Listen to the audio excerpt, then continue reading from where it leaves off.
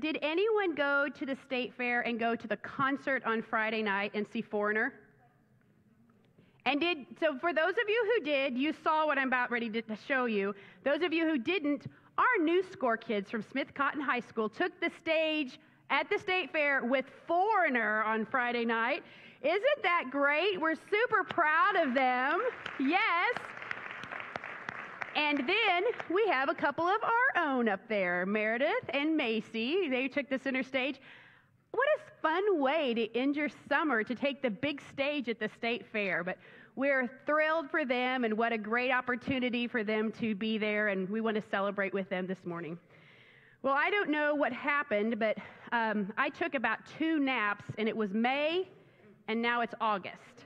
I'm not really sure. I, the summer has just disappeared. My children go back to school on Thursday. Um, my old, our oldest son goes to college tomorrow, and then we have a daughter that's home that graduated in the spring, and she's sticking around here. But I don't really like it when my children go back to school. I like having them home, and there's this little ritual that happens at our house. It happens the night before school. Everything's ready to go for breakfast for the next morning. I lay down in bed. Brian's usually already asleep. I lay down and I start thinking, did I save enough papers? Did I spend enough time with them? Did I do all the things I should do to be a good mom? Because now they're coming back to school and I start crying. And I wake up Brian to tell him all of these things, and he's like, Yeah, let's talk about this now. So. So we're, uh, you know, he has to listen to me cry, and so I go to sleep, and the next morning I wake up and we do the whole breakfast thing, and I get them ready and load them up to go to school. I have drivers now, so they kind of drive themselves, but when I could drive them, we would go into school. I didn't dare cry as I was dropping them off. But when I dropped them off, I got in the car and I called Brian. I just dropped them off and now they're gone back to school and it starts all over again.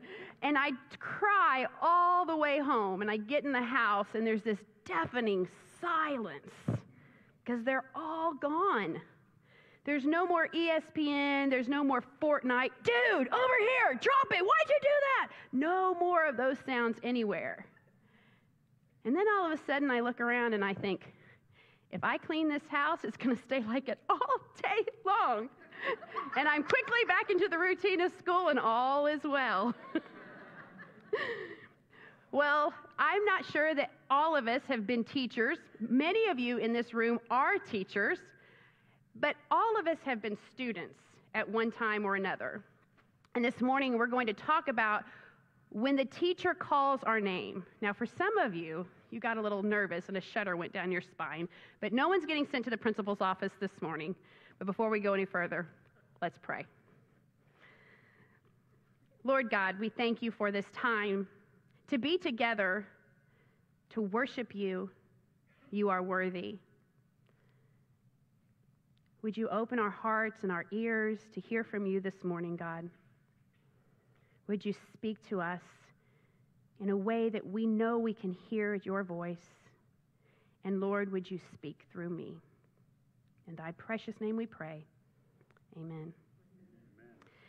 Well, in Isaiah 9 6, we read, uh, For a child, this is Jesus, will be born to us, and a son will be given, and the government will rest on his shoulders, and his name will be called Wonderful Counselor, Mighty God, Eternal Father, Prince of Peace. We should not be too surprised that Jesus was a good teacher because before he was born, the scriptures prophesied that, that he would be a wonderful counselor, a guide, a teacher for us. And did you know in the Gospels, out of the 90 times that Jesus is addressed, 60 times he was called teacher. And it says in John 13 13, You call me teacher, teacher and Lord, and rightly so, for that is what I am. Jesus acknowledges that he was a teacher. Well, names are important for Jesus for who he was and is, and they're important to us as well.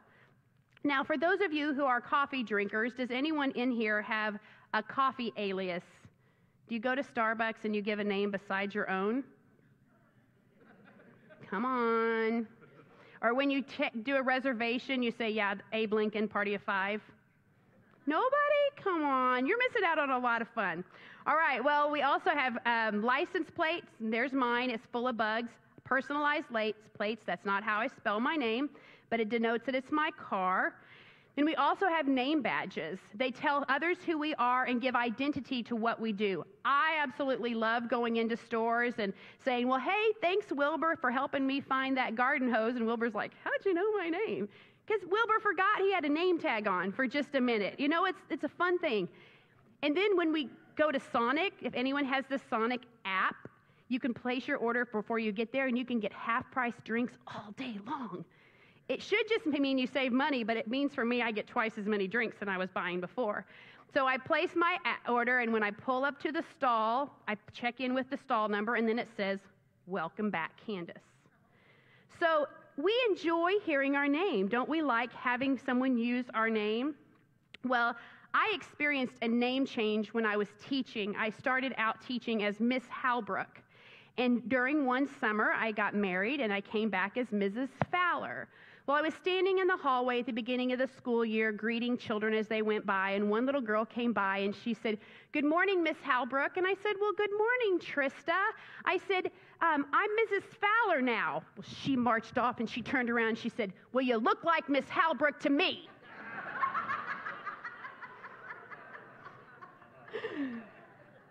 but this name change meant not only a change in my name, but in my identity. I became a Mrs. And as we reference, we see references in Scripture, we see that when someone's name changes, or we see the meaning of their name, denotes a relationship or something about them. We see the name for Isaac. When Isaac's mother, Sarah, was told she was going to have a baby, she laughed. And Isaac's name means laughter. When Esau was born, he had hair all over him, and Esau means hairy. So that's the name they chose to give him. Lucky kid. then we have Adam. The Hebrew word is Adam, and it means from the earth. And we were created from the dust. All of these names have meanings, kind of like nicknames. Now, how many in here have a nickname? We have nicknames, usually from something we did, or it denotes a family name, or something about an instance or an occasion or something. But did you know that Jesus had some nicknames for his disciples? We had Simon, who was the zealot, and Thomas, the twin. Now, we think of Thomas as t- doubting Thomas, but that's not the name that Jesus gave him. Thomas wanted to see the scars in Jesus' hands and in his side to believe that he was had been resurrected from the dead. So we think of him as doubting Thomas, but that's not what Jesus called him. He called him the twin. So he likely had a twin brother or sister.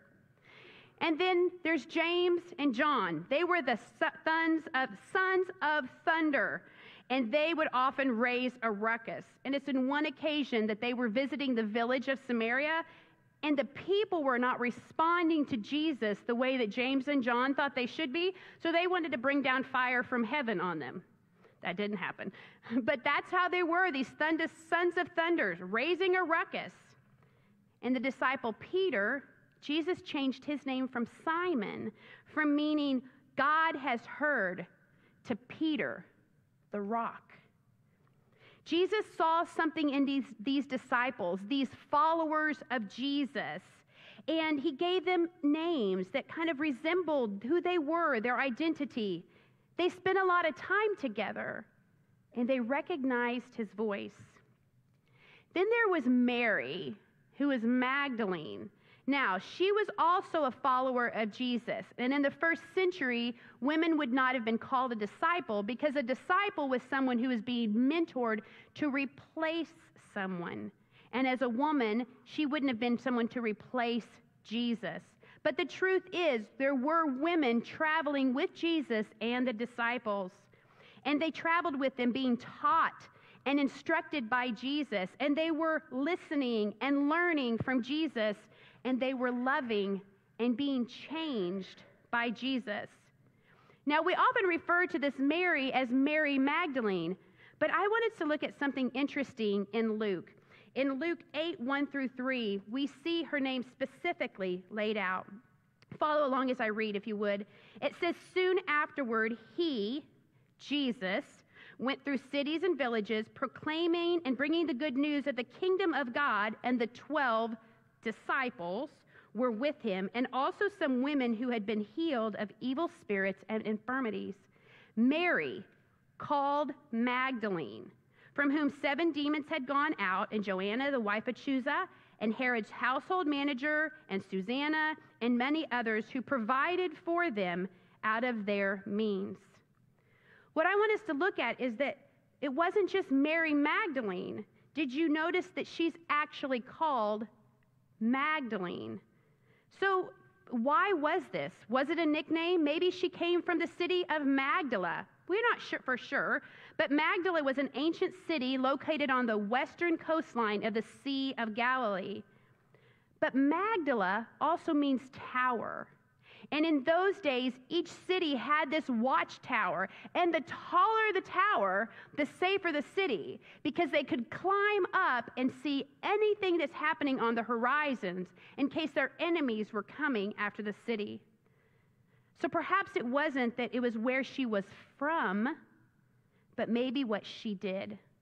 Let's look at this next part of this passage. It says, Mag- Mary Magdalene, from whom seven demons had gone out. Mary had once been known as something different, but Jesus saw who she could be. Amen. Did Jesus see that Mary provided protection? That she was a watchtower for others? What did Jesus see in here, in her? This name was obviously important for it to be part of the scriptures.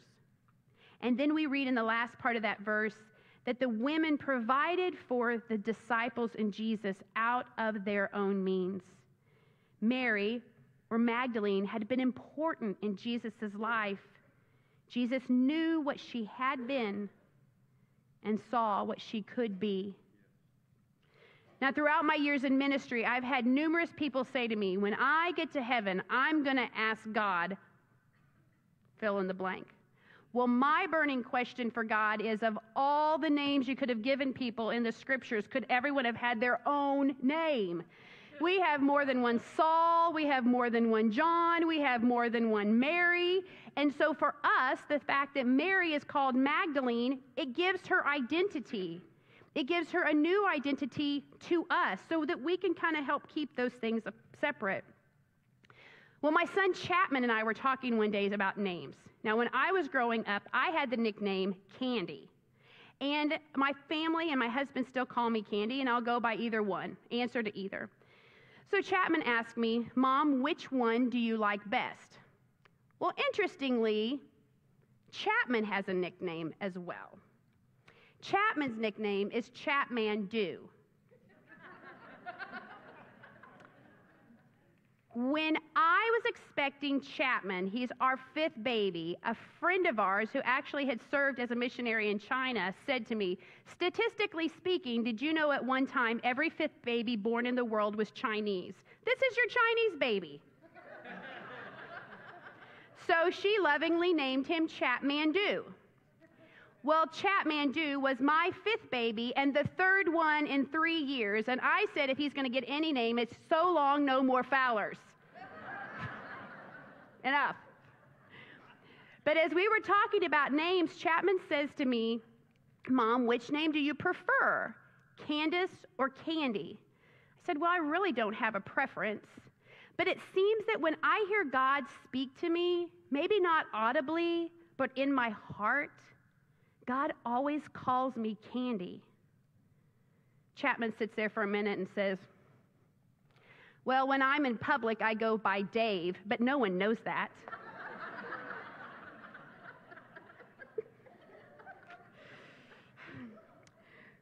well, when we see names changes in Scripture, it often denotes something new that God wants to do.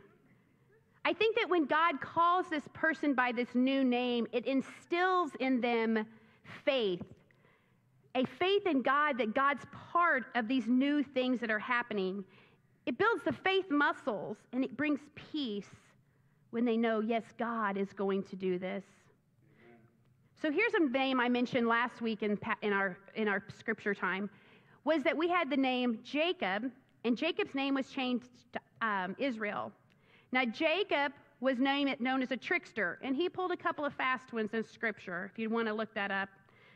But Israel, his name became having power with God, having struggled with God and man, overcame. Now, let's look at this next one.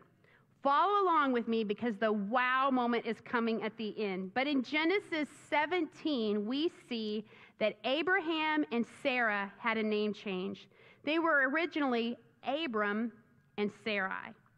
Now, I want to walk you through this, but in the Hebrew language, originally, and it's been lost, but the letters told a story. They were symbolic.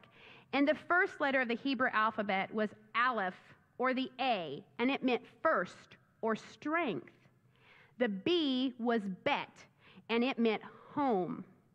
So if you put those two letters together, the A and the B, you have first, or the leader of the home, which makes the word Abba, which means father.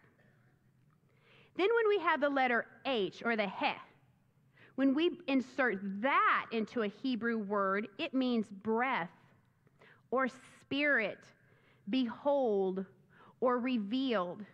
Now we take that first letter, first two letters we talked about, the aleph and the bet, and we put the he in the middle, we have leader, spirit, home. And all that put together is ahab, which is the Hebrew word for love, or another meaning is the essence of God, which is love. Isn't that cool? So, when we now we go back, remembering that the he means spirit, behold, revealed, when God did the name change of Abram and Sarai to Abraham and Sarah, he added the H or the He. He added the Spirit of God to their name. And so every time they heard their name, they heard, God is in my story. Isn't that cool? It makes me want to throw an H on the end of Candace. Like, it's just, like, it's amazing. So I have a question. How many of you are uh, sports people and you played ball, you know, played basketball, baseball, football, any of those things? You were on a team, sports team of some of degree. When you're in the middle of that game and the ruckus, the crowd is screaming and things are intense, what voice do you hear? Whose voice? The coach's voice. Or the voice you know. I've asked my kids a hundred times, like, whose voice? Did you hear your mom screaming? Did you hear dad screaming? Well, sometimes we hear dad, but we usually just hear the coach. In that, in the franticness of the moment, they hear the name they know. Well, I want us to look at this passage of scripture with Mary Magdalene. It comes from John chapter 20, verses 11 through 12. Now, I want to tell you exactly what's been happening in this passage of Scripture because Mary has been, is at the tomb. Jesus has been crucified, this horrific, horribly painful, embarrassing death, and she's at the tomb. Now, I don't have to dwell on that too much because we've all lost someone at some time. So we know that feeling of despair. But this is where Mary is physically this is where she is emotionally. So if you'll follow along as I read in, out of John 20, verses 11 through 18, it says, Now Mary stood outside the tomb crying, and as she wept, she bent over and looked in the tomb, and she saw two angels in white seated where Jesus' body had been, one at the head and one at the foot. And they asked her, Woman, why are you crying? They've taken my Lord away, and I don't know where they have put him. And at this, she turned around and she saw Jesus standing there, but she did not realize that it was Jesus. And he asked her, Woman, why are you crying? Who is it that you're looking for? And thinking he was the gardener, she said, Sir, if you carried him away, tell me where you've put him so I will go get him. Because at this point, she is so distraught. She's thinking, What more could you do to him? He's dead. Why have you taken his body? And then Jesus says to her, Mary. And she turned toward him and cried out in Aramaic, Rabboni, which means teacher. The teacher called her name. Jesus said her name, and it changed everything. And in hearing her name, she saw Jesus. And before that, all she could see was pain and despair. And it was overwhelming that she didn't even recognize Jesus. But when she heard her name, everything changed. Going on, she says, Jesus said to her, Do not hold on to me, for I have not yet ascended to the Father. Go instead to my brothers and tell them, I'm ascending to my Father and to your Father, to my God and to your God. And she hugs him and she doesn't want to let go. And Jesus says, You have to. But in that moment, she has hope again. When she's hugging him, she hears her name and she sees something more than the despair that was before her moments ago. And that this is in this moment is what Jesus does for each of us. Amen. It's in that moment that we realize that we need a Savior. It's in that moment of despair that we feel this glimmer of hope, and we don't even know what it is, but we recognize that it's Jesus. It's in that moment that we step into the grace that's always gone before us and we say, Yes, Jesus, I will follow you. Friends, Jesus is calling your name. And that's when it changes everything, when you hear Jesus say your name. Our names mean something to us and to others. And yet, when Jesus sees us, Jesus sees our name and sees all that we can become. It's like when Jesus called Simon Peter, the rock, because Peter was instrumental in establishing the church after Jesus' crucifixion, resurrection, and ascension to heaven. Jesus saw who Peter would be. And the sons of thunder, James was the first one martyred for Jesus. And John wrote the Gospel of John and 1st, 2nd, and 3rd John. He was known as the Apostle of Love. And Jesus says, I'm going to call you the son, sons of thunder, but boys, I want you to make a ruckus for the kingdom. And they did. And Magdalene, was she called this because Jesus saw something in her? And Maybe a watchtower for others, seeing something first before others would see that. Because look at this verse in 18. It says, Mary Magdalene went to the disciples with the news, I have seen the Lord. And she told them what he had said and these things to her. Mary calling out to others to tell them what she had seen a watchtower, seeing things before others had seen it. Can you hear God's voice today calling your name? Maybe it's not a name, but a feeling. John Wesley, the founder of Methodism, said that his heart had been strangely warmed, but he knew it was God calling. If you look at your bulletin today, if you'll take a minute and look at that, it says, Hello, my name is, and it's blank. Could you fill that in today? Would you take that home and let it be a reminder to you of the name that Jesus has for you? Maybe Jesus calling you and calling you to something different than you've called yourself, worthless or failure. And Jesus says, No, that's not who you are. And so you simply fill it in with your name because that's who Jesus sees you as. Amen. Or maybe you just simply put, I'm a child of God.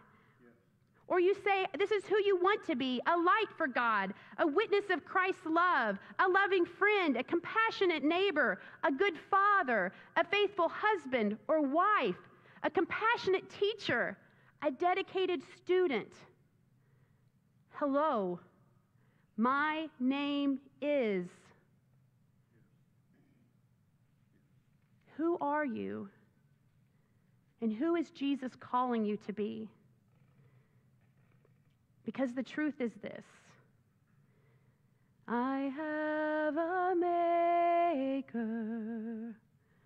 God formed my heart before even time began.